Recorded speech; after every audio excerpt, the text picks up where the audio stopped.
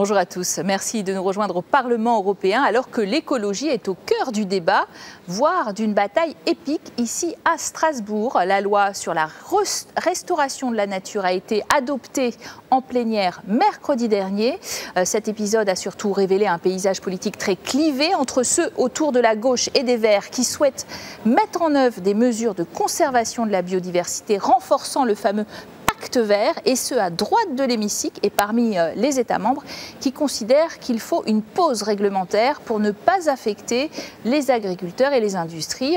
Euh, les congés d'été commencent aussi et en pleine canicule euh, par des signes tangibles d'un réchauffement climatique, une réflexion sur le surtourisme et sur notre empreinte carbone. Et nous allons en parler aujourd'hui avec une eurodéputée verte. Bonjour, Karima Deli. Vous Bonjour. êtes ici au Parlement, d'ailleurs la présidente de la commission transport et tourisme. Alors je le disais, cette semaine, bonne nouvelle pour vous, évidemment, euh, l'adoption de cette loi, adoption très difficile de cette loi de restauration de la nature qui a fait l'objet d'une attaque dans les règles de la droite et de la droite plus radicale. Absolument, parce que la, la droite, avec l'extrême droite, voire les eurosceptiques, ont voulu rejeter cette loi pour dire maintenant il y en a un peu ras-le-bol des règles environnementales. Et eh bien figurez-vous que cette loi a montré véritablement que la mobilisation de la jeunesse, des ONG, des gens qui considèrent qu'aujourd'hui, bah, la nature doit reprendre ses droits.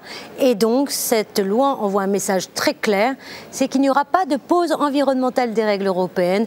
Au contraire, la priorité est la protection de la biodiversité et la lutte contre le dérèglement climatique. Pourquoi le Parti populaire européen de Manfred Weber, euh, selon vous, euh, a à ce point sonné euh, l'alarme et finalement dit de cette loi qu'elle obligeait à 10% euh, de terres gelées, hein, euh, alors que euh, d'autres considèrent qu'il n'y a pas de, lieu de s'inquiéter pour les agriculteurs à ce point. C'est là où c'est le drame de la politique et de la petite politique. Monsieur Weber a voulu conforter son électorat, qui est un électorat très conservateur, hein, proche des lobbies de l'agrobusiness et notamment de beaucoup d'agriculteurs qui sont conservateurs.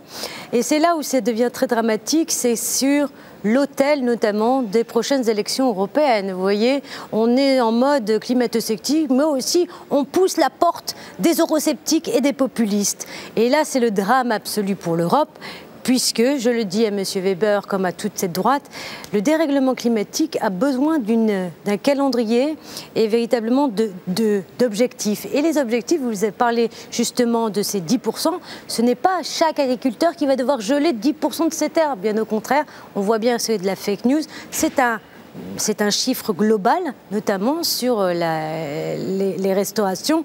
Et faire attention parce que le dérèglement climatique, et vous avez dit en introduction très justement, ne va pas nous attendre. Donc il y aura toutes les questions d'artificialisation, il y aura les questions notamment euh, d'accompagnement sur euh, les pesticides. On verra aussi le, le fait qu'on ne vit pas son nature.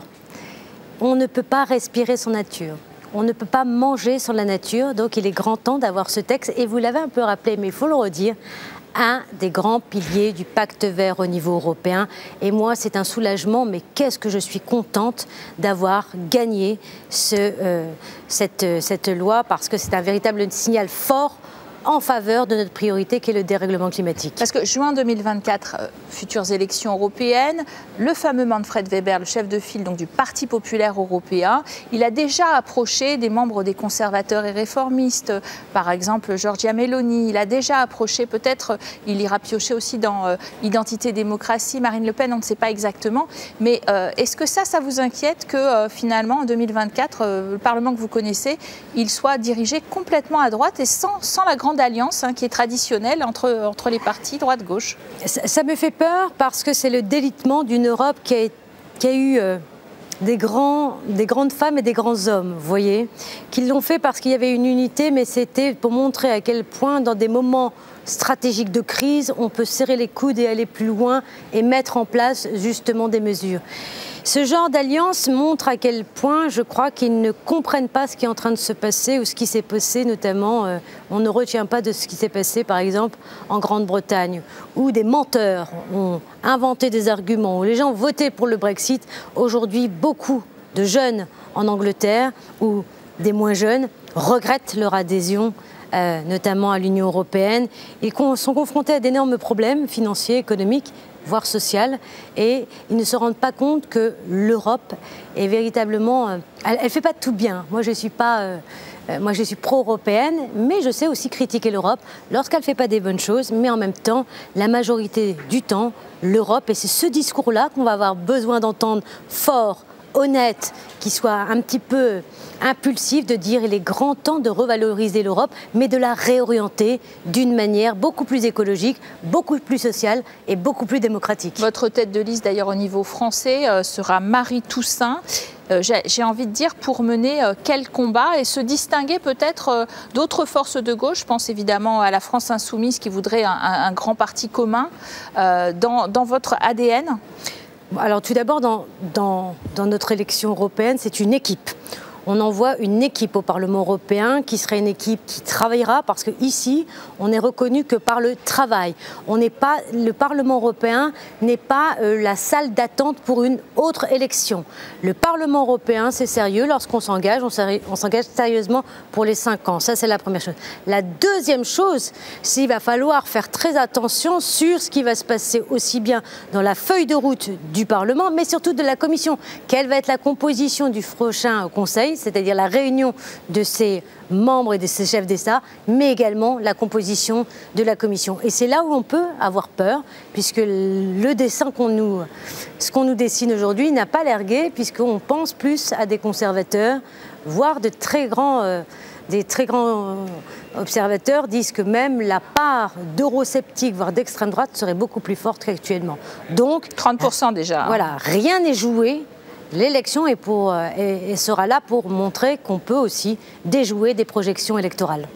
Alors, le tourisme euh, est euh, une opportunité pour se refaire une santé dans beaucoup de pays du Sud affectés par la pandémie, mais le surtourisme, en fait, est, est plutôt une nuisance. D'après l'Organisation mondiale du tourisme, 95% des touristes mondiaux visiteraient moins de 5% des, des terres émergées à l'échelle la France, c'est 80% de l'activité euh, touristique qui se concentre sur 20% du territoire. C'est d'ailleurs le cas à Ajaccio, euh, en Corse, qui accueille des croisiéristes tous les jours, comme nous le montre ce reportage.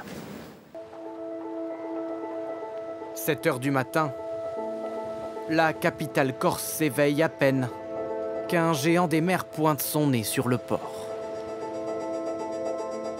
Comme tous les jours ou presque, une croisière fait escale à Ajaccio. Une dizaine de raquets, en plein centre-ville. Jusqu'à 4900 passagers auront la journée pour découvrir l'île de beauté.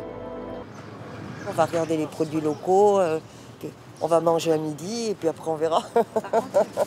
Ajaccio aujourd'hui, après Rome hier et les Baléares demain. Faire une croisière, c'est découvrir un maximum de villes en peu de temps. Pourtant, à Ajaccio comme ailleurs, la croisière n'amuse plus tout le monde. Un peu partout, des collectifs s'opposent à la venue de ces mastodontes, accusés de polluer les ports. À chaque fois que Gilles Noton jette un œil dehors, impossible de les rater. Ce qui le gêne, ce n'est pas la vue, mais les fumées qui se dégagent des cheminées toute la journée. Lui craint des conséquences sur sa santé. L'autre matin, c'était flagrant. Hein. Nous prenions le, petit déjeuner. Ma femme me dit ça sent le brûlé. Bah, ça sentait pas le brûlé, ça sentait le fioul qui rentrait dans les appartements. C'est comme quand vous êtes, vous êtes derrière une voiture euh, à pot d'échappement qui, vous envoie des trucs dans les narines. Hein. C'est le même genre d'odeur. En plus intense parce que les quantités, bien évidemment, sont plus importantes. Mais l'inquiétude des riverains se heurte aux intérêts de certains commerçants, pour qui ces bateaux sont une bénédiction? Si nous, on n'a pas les croisiéristes, on est mort. Il hein, faut dire, euh, économiquement, on peut, on peut dire que c'est une question de vie L'année dernière, près de 400 000 croisiéristes avaient fait escale en Corse, soit 15 fois plus qu'il y a deux ans. Karima Deli, présidente de la commission transport. Les avis sont partagés, vous le voyez, sur les bénéfices, euh, par exemple, de ces grandes croisières. Qu'est-ce que vous préconisez? Alors tout d'abord, là, on est à un phénomène qui est croissant en Europe, c'est le surtourisme. On consomme en fait du tourisme comme si c'était un divertissement. Il faut mettre fin à ces euh, méthodes, tout simplement parce qu'il faut mieux réguler. Ce n'est pas normal qu'on ait des mastodontes comme ça. Et vous avez vu, hein, le citoyen, l'habitant qui dit mais regardez, j'ai un impact sur ma santé. Et là, on est sur un secteur très lourd, c'est le secteur maritime. Aujourd'hui, le secteur maritime roule avec des, euh, bah, fonctionne avec du fioul lourd. Le fioul lourd a un impact sur la santé des gens. On le voit, ça nous impacte avec 58 milliards d'euros d'impact sur la santé des gens, vous voyez, parce qu'il y a de la pollution de l'air. Donc moi, ce que je dis, c'est qu'il faut réguler. D'abord, nous sommes en train de mettre en place, notamment dans le paquet FIFA 55, hop, tout de suite les législations pour ces bateaux. Nous ne pouvons plus avoir ce genre de bateau qui roule à quai comme ça, qui tourne à quai euh, dans le vide. Donc désormais, ce sera des quais électrifiés. Ça, c'est la première chose. La deuxième chose, c'est qu'il faut vraiment respecter les populations et la fréquence. On voit déjà que sur, dès le matin, il y a deux gros bateaux. Donc ça, il va falloir aussi faire en sorte que ces destinations soient plus régulées pour qu'on n'ait pas deux, trois, parce que là, on, on est gentil d'en mettre deux. Mais habituellement, ils sont quatre, voire certaines destinations sont cinq bateaux de croisière. Et ensuite, on ne peut plus accepter ces bateaux qui sont des îles flottantes. Ça, ce n'est plus la taille et le gigantisme, ce n'est plus le, tourisme de demain. Donc, pour assurer les locaux, il faut faire la promotion localement, ça c'est clair, mais les valoriser parce qu'en général, euh, ils sortent du bateau, mais ils ne consomment quasiment rien. Donc là aussi, il va falloir redessiner ce qu'on appelle le tourisme de demain. Et le tourisme de demain, eh ben, c'est regarder ce qui se passe euh, d'un territoire à l'autre sans forcément avoir ce genre de, de croisiériste. côté avion aussi, vous voulez mettre en place pour 2025 2% de carburant aérien durable. Euh, et puis euh, jusqu'en 2050, augmenter à 70%. Voilà. Est-ce que les textes en question sont à la hauteur de la neutralité carbone en 2050 qu'on veut Vous avez raison. Si je prends le texte qui s'appelle Refuel Aviation, c'est-à-dire les carburants alternatifs dans l'aviation. Si je le plaque aux accords de Paris, ben en 2050, on n'est pas dans la neutralité carbone. Mais malheureusement, on n'a pas gagné. C'est un première étape. Hein. C'est une première loi au niveau euh, international. Donc c'est un bon pas, mais ça ne va pas assez loin. Donc j'espère que la prochaine mandature amplifiera ces choses-là. Et ensuite, il y a un deuxième texte qui me tient à cœur et j'espère qu'on le terminera avant la fin de la mandature. C'est l'optimisation des flux. On appelle ça euh, de manière un peu barbare le ciel unique européen. C'est comment on va optimiser l'ensemble des flux, des flux beaucoup plus directs dans l'aviation, qui nous permettra de réduire de moins 10% de CO2 rien qu'en une année. Alors revenons sur un autre temps fort de cette semaine, hein, le sommet de l'OTAN mardi et mercredi. La Turquie lève son veto sur l'adhésion de la Suède à l'Alliance et le secrétaire général s'en réjouit. On l'écoute tout de suite. Finaliser l'accession de la Suède à l'OTAN est un pas historique. C'est une sécurité pour tous les alliés de l'OTAN en cette période critique. Cela nous rend plus forts et nous met en sécurité. En tant que membre de l'UE, la Suède a convenu aujourd'hui de soutenir activement les efforts visant à redynamiser le processus d'adhésion de la Turquie à l'UE ainsi que de contribuer à la modernisation de l'union douanière UE-Turquie et à la libéralisation des visas.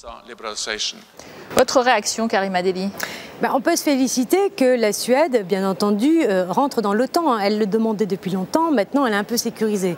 Mais ça, cela ne doit pas être au chantage de la Turquie qui dit maintenant je peux rentrer comme ça dans l'Union européenne. Non. Lorsqu'on rentre dans l'Union européenne, c'est un temps et un processus qui est long. Ce sont des critères à respecter, notamment la question de l'état de droit, etc. Lorsque les États membres mettent en place leur, euh, demande de processus, il faut qu'ils bah, puissent répondre de leurs actes. Et pour l'instant, bah, la Turquie ne répond pas trop de, de, ces actes. Donc il va falloir attendre le fait qu'elle réponde concrètement des valeurs européennes aussi. Hein. Donc on ne peut pas avoir juste un petit chantage comme ça de la Suède rentre dans l'OTAN, donc forcément euh, la Turquie rentrerait dans l'Union. Non, c'est beaucoup plus compliqué que ça. Euh, autre, euh, autre chapitre, bien sûr, l'adhésion à l'OTAN, cette fois-ci de l'Ukraine, et la grosse déception de Volodymyr Zelensky, qui trouve que finalement, il n'a pas reçu d'invitation à rejoindre l'Alliance. Mais c'est un peu compliqué, vous dites? Bah, Je trouve que. on peut comprendre la déception quand même. Hein, mais l'Ukraine reste un pays en guerre. Et il ne repart pas bredouille. Il repart avec quand même une adhésion d'États membres pour dire on est derrière euh, tous ensemble, notamment le volet européen très clair, hein, droit dans ses bottes, sur euh, la volonté d'accompagner l'Ukraine et de dire vous n'êtes pas seul, et en même temps des, des États qui s'engagent à l'accompagner militairement parce que malheureusement encore, la guerre n'est pas terminée. Quel est le, finalement le, nouveau paradigme des Verts par rapport à cette alliance atlantique très américaine, très atlantiste aussi, euh, on a envie de dire, et puis par rapport aussi au fait que, euh, eh bien, on est en pleine phase de réarmement en Europe également, et que c'est vrai que euh, les Verts traditionnellement étaient plutôt antimilitaristes. Alors, on n'a pas été très c'est pas qu'on n'aime pas l'OTAN, mais on, pense qu'on peut gérer autrement. Ça, c'est la première chose. La deuxième chose, c'est qu'aujourd'hui, tout le monde parle de défense européenne, mais vous savez, vous comme moi, ça fait longtemps qu'on est dans les institutions européennes, tout le monde parle de la défense européenne. Mais bon sang de bon sang, euh, est-ce qu'on va vraiment mettre en place la défense européenne? Est-ce qu'on aura le courage de le faire? Parce que moi, je crois que le temps et les leçons que nous devons tirer de l'Ukraine, c'est le temps n'est plus au blabla hein, sur les questions militaires et les questions de défense. Il faut se mettre autour de la table et véritablement former, adopter cette défense européenne qui est un petit peu compliquée parce qu'il y a aussi les Anglais qui doivent faire partie, puisqu'on sait que euh, leur, euh, leur unité est importante, doivent réintégrer cette défense européenne. Et c'est à ce moment-là, concrètement, qu'on aurait un vrai volet de défense, de défense même s'il y a des textes, par exemple un, un texte qui s'appelle la mobilité militaire, puisque la défense a besoin d'infrastructures. Hein. on ne met pas des chars comme ça euh, sur le rail ou même sur la terre, sur euh, les routes, etc. Tout ça est conditionné sur des investissements, mais mettons et gageons alors une vraie défense européenne qui soit digne de ce nom, parce que pour l'instant, ce n'est que dans les paroles soit construite en Europe, vous dites. Voilà. Euh, voilà.